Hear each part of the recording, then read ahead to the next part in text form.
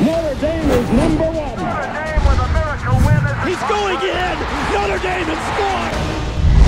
UND.com back at the Westin Diplomat, joined by Kyle McCarthy from 2009, safety for the Kansas City Chiefs, and big brother of Dan McCarthy. Yes. Are you a little excited for your brother?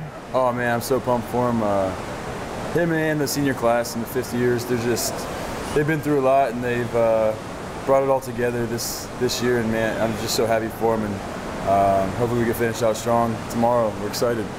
Your relationship with your brother, um, going up to this game, have you been in contact with him closely? Uh, how, how's that working out? Yeah, we talk all the time. I mean, we're, we're real close, tight knit family, and uh, so he's been keeping me in the loop a little bit. Um, not too much though. He, you know, I can't tell all the secrets, but um, they're excited. They're confident, and uh, I know they've been working hard. So I'm excited. Uh, just excited for them to go out, and uh, I know it's been a long wait since the, since USC. So um, we're looking forward to tomorrow. You get an opportunity playing in the NFL to follow the team this year?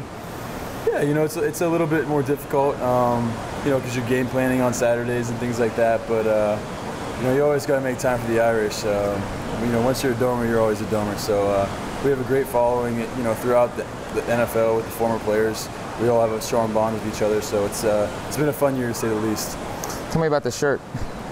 Uh, beat Bama. My uh, my family's a bunch of Irish Catholics, so we're all Notre Dame fans. And uh, my dad made a couple as a joke, so I thought I thought they were pretty catchy. So I uh, I got to rep it a little bit. I've been getting some uh, some Alabama fans told me to roll tide though, so it's, it's stirred up the pot a little bit. Last question. Are you going to talk to Dan right before the game? Oh, absolutely. I mean, I you know, this is his time and things like that. So I'll, I'll probably talk to him in the morning, let him uh, have the rest of the day to get his thoughts in order and, and get ready for the game because um, it's going to be a lifelong memory, one way or the other, and hopefully it's one that we want to remember for uh, for a long time as Notre Dame fans. You know, watching your little brother out there. I mean, can you, can you ever imagine watching your little brother play for a national championship when you were growing up?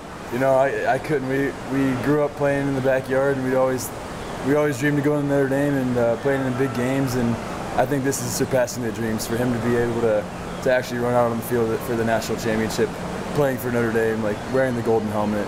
Uh, it's just uh, it's a storybook ending to to a dream come true for him and our family. Kyle, thanks for taking the time. Thanks. Enjoy the game. Appreciate having me. Go Irish.